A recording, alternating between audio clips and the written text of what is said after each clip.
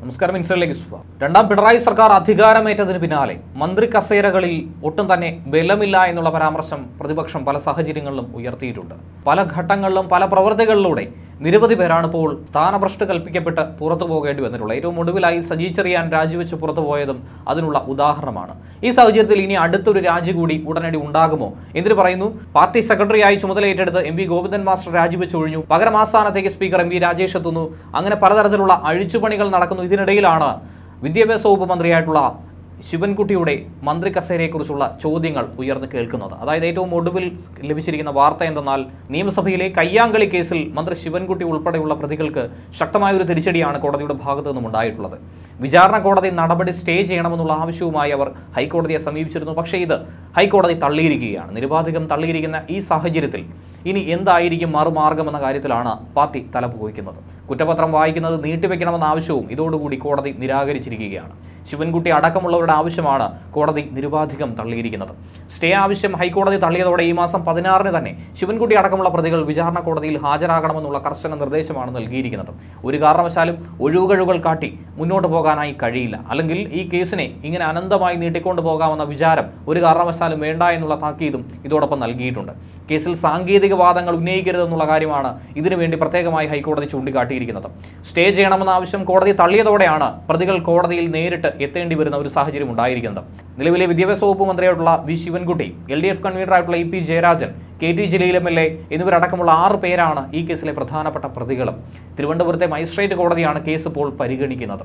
നിരവധി തവണ കുറ്റപത്രം വായിച്ചു കേൾക്കാനായി പ്രതികളോട് കോടതിയിൽ എത്താനായി നിർദ്ദേശിച്ചിട്ടുണ്ടായിരുന്നു. പക്ഷേ കോടതിയിൽ പലവിധ കാരണങ്ങൾ ഉന്നയിച്ചുകൊണ്ട് ഇവർ ഹാജരാവുകയായിരുന്നില്ല. ഈ സാഹചര്യത്തിലാണ് പ്രതികൾക്ക് കോടതി അവസാനമായി ഒരു താക്കീത് നൽകിയിട്ടുണ്ടായത്. ഇതിനെതിരെയാണ് ഇവർ ഹൈക്കോടതിയെ സമീപിച്ചത്. ബാർക്കോഴ ആരോപണങ്ങളുടെ പശ്ചാത്തലത്തിലായിരുന്നു അന്നത്തെ ധനമന്ത്രി കൂടിയായ കെ എം മാണിയുടെ ബജറ്റ് അവതരണം തടയാനായി ശക്തമായ പ്രതിഷേധം പ്രതിപക്ഷ അംഗങ്ങൾ കൂടിയായിരുന്ന C P M M L A മറന്നു നടത്തിയത്. പ്രതിപക്ഷാംഗങ്ങൾ കയ്യാങ്കളിക്ക് മുതിർന്നതായിട്ട് തന്നെയാണ് കേസ് പിന്നീട് രജിസ്റ്റർ ചെയ്യപ്പെട്ടിട്ടുള്ളത്. കേസ് റദ്ദാക്കണമെന്ന് ആവശ്യപ്പെട്ടുകൊണ്ട് നേരത്തെ തന്നെ സർക്കാരും പ്രതികളും സുപ്രീം കോടതിയിൽ പോയിട്ടുണ്ടായിരുന്നു. പക്ഷേ കേസിൽ വിചാരണ നേരിടണമെന്നുള്ള കർശന ഉത്തരവായിരുന്നു സുപ്രീം കോടതിയും നൽകിയത്. തൊട്ടു പിന്നാലെ ഇപ്പോൾ ഹൈക്കോടതിയും ഒരു തിരിച്ചടി നൽകിയിരിക്കുകയാണ്. ഹൈക്കോടതി വിചാരണ സ്റ്റേ ചെയ്യാൻ വിസമ്മതിച്ചതിന് തൊട്ടു പിന്നാലെ തന്നെ കുറ്റപത്രം വായിക്കുന്നത് നീട്ടിവെക്കണമെന്നുള്ള ആവശ്യമായിരുന്നു പ്രതികളുടെ അഭിഭാഷകൻ മുന്നോട്ട് വെച്ചത്. പക്ഷേ ഇപ്പോൾ ആ ആവശ്യവും അംഗീകരിക്കാനായി ജസ്റ്റിസ് സിയാദ് റഹ്മാൻ തയ്യാറായിട്ടില്ല.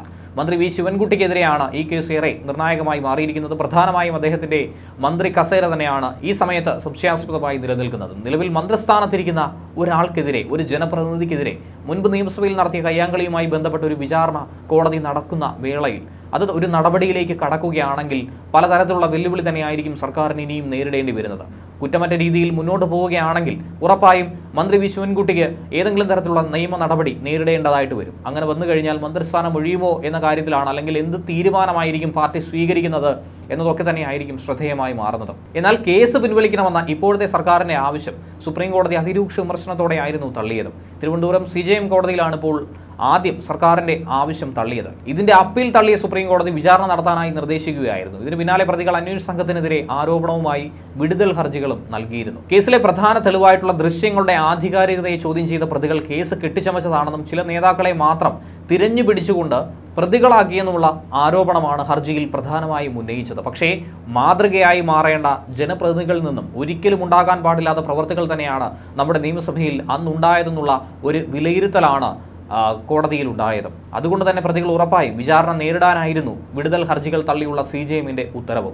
രണ്ടായിരത്തി പതിനഞ്ച് മാർച്ച് മാസം പതിമൂന്നാം തീയതിയായിരുന്നു കേസിനാസ്പദമായ സംഭവം.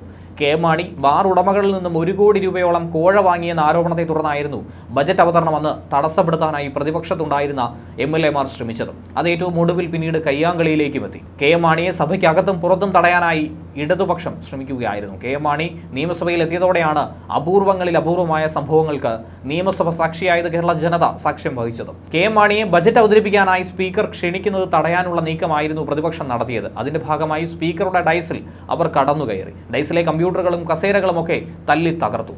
കസേര സ്പീക്കറുടെ കസേര വലിച്ച് താഴെയിട്ടു രണ്ട് ലക്ഷത്തി ഇരുപതിനായിരം രൂപയുടെ പൊതുമുതൽ നശിപ്പിച്ചു എന്നതാണ് ഈ കേസ്. എന്നാൽ ഇതിനിടയിലാകട്ടെ കെ എം മാണി നിയമസഭയിൽ ബജറ്റ് അവതരിപ്പിച്ചതായി പ്രഖ്യാപിക്കുകയും ചെയ്തിരുന്നു. അത്രയധികം തിരിച്ചടിയാണ് അപ്പോൾ സി പി എമ്മിനെ സംബന്ധിച്ച് അന്നുണ്ടായതും അതിനുശേഷം ഇപ്പോൾ അധികാരത്തിലെത്തിയ ശേഷവും വേട്ടയാടിക്കൊണ്ടിരിക്കുന്നത്. ന്യൂസ് ഡെസ്ക് മുരളി വാർത്ത